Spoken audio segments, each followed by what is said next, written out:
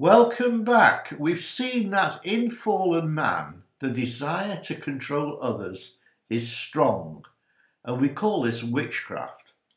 But what about the desire that got the human race into big trouble? The fallen man in Genesis.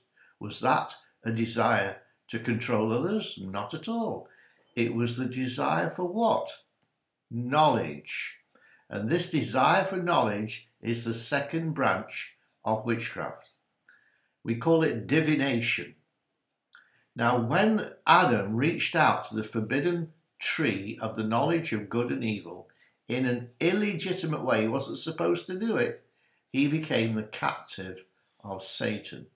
Genesis 2 and verse 17. Untold millions of his descendants have been lured into, pulled into the occult by the desire for knowledge. Think about this two examples here. A family member dies, and mum says, Where did my son go when he died? What do they end up doing? They go to a seance. Young adults thinking about marriage, wondering whether it's a good idea to marry this particular person. Am I going to have a happy marriage? Tell me, how many children am I going to have? And so on. What do they do? They go to a fortune teller.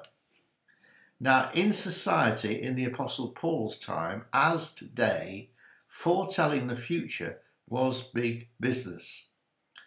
Let's think about uh, Paul's visit to uh, Philippi with Silas. This is in Acts 16, verses 16 and 17. When Paul and Silas first arrived to preach the gospel in Philippi, it happened as they went to prayer that a certain slave girl possessed with a spirit of divination, there it is, Metas, who brought her owners much gain by fortune telling. She kept on following Paul, shouting loudly, These men are servants of the Most High God. They announce to you the way of salvation. Now, Paul put up with it for a certain amount of time. Uh, what this girl was saying was absolutely true, but she did not know it by natural means. She knew it by supernatural means. She didn't. She wasn't uh, an educated kid. She was. She was just a slave girl. But she recognised who Paul and Silas was, and um, she was the first person. But she knew it. It was not by God's Spirit. She knew it by a divining spiritual spirit of divination. And uh, it was this fortune telling spirit got its her owners a lot of money the Greek actually says having a spirit of python. The Greek word uses P U T H O N, buthon, or a python spirit. In other words, a snake spirit. And remember, snakes have always been regarded in pagan society as somehow the source of unusual knowledge and wisdom.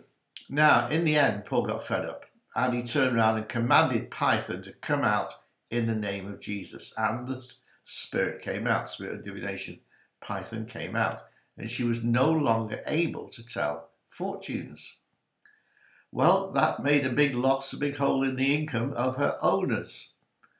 And uh, not only did that Python spirit uh, operate through the girl, it was the big chief in Philippi. It was a strong man in Philippi. The whole city was given over to this spirit. Now, even on arrival in the town, this is where we have to be careful. We go to a new town, we have to be careful that the spirits of that town will attack us. And this python spirit attacked Paul and Silas as soon as they went to the place of prayer, a vicious attack. They were brought in front of the magistrates, and the whole city was in uproar just because a slave girl was delivered from a spirit of divination. You read that in Acts 16, verses 19 and 20. Now, Python's tactics are typically this false accusations, violent persecution, and bondage. Python will try to inflict physical and emotional wounds on us. It will also stir up old wounds of the past and magnify unresolved pain to hinder our prayer lives. Python spirits are bad news. And unless the Apostle Paul had broken the stronghold of Python at Philippi, there would have been no establishing a church there.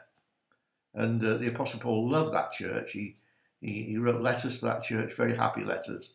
But he wouldn't have been able to establish that strong church if he had not dealt with Python and stirred up a riot because it wasn't just a slave girl, it was the whole town. Python is a principality, and mentioned in uh, Ephesians 6, we wrestle with principalities. It's a principality and a major branch of witchcraft. Now, notice that when Jesus gave his disciples authority over demons, he particularly mentioned serpents and scorpions. Luke 10 and verse 19.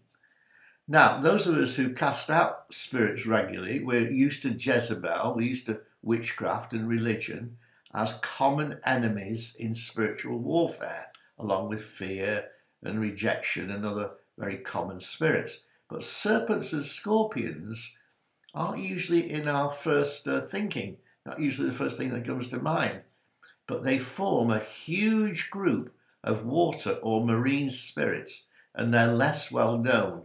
And we're going to be looking at uh, marine spirits after this study on witchcraft.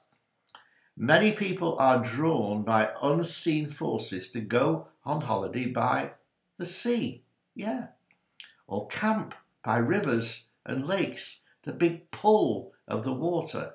Hiding behind the natural beauty of such places, it's wise to realize there are strongholds of marine devils who, under the control of Python and Leviathan, they cause great trouble to people, especially those on holiday. Anyway, after studying this, uh, one more branch of witchcraft we've got to deal with, and that's in my next video and explaining how to be free from it. We will later go on and take the mask off these less known underwater spirits. I think you'll enjoy that. Look forward to seeing you then.